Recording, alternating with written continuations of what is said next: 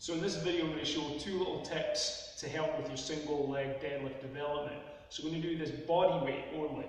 So the first little tip is when we're practicing our deadlift, I'm going to keep this leg slightly bent and as I begin my deadlift I'm going to let my big toe trail on the floor okay because if I can't do a single leg deadlift yeah, I might need a little training wheel, a little stabilizer to help me.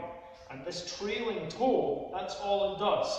It's not taking any real weight, it's just catching tiny little disturbances in my balance. So here, I just let this back leg go straight, and I just let the big toe help me balance ever so lightly until the point when I can come onto one leg.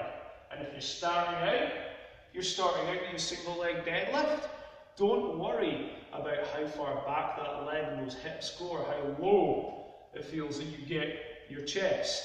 Yeah? Getting that quality starting position, it's, it's worth more than faking to get into a lower position. So our second cue, and these two ideas can be used concurrently, they can be used together, is some people are worried about falling over. So what we can do is as we practice our single leg deadlift, we can reach for the wall. So we know that if we're going to stumble and fall, we can use the wall for support. Yeah? So here, I do my single leg deadlift.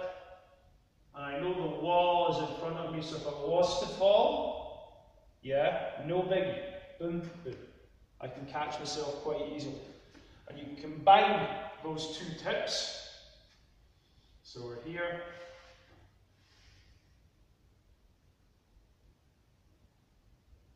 Yeah.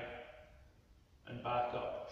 And so it's better to use these stabilizers, these training wheels, and develop the quality movement, the quality pattern, than it is to be banging out really terrible reps here. Okay? So it's okay, if you know you're doing it, to use stabilizers.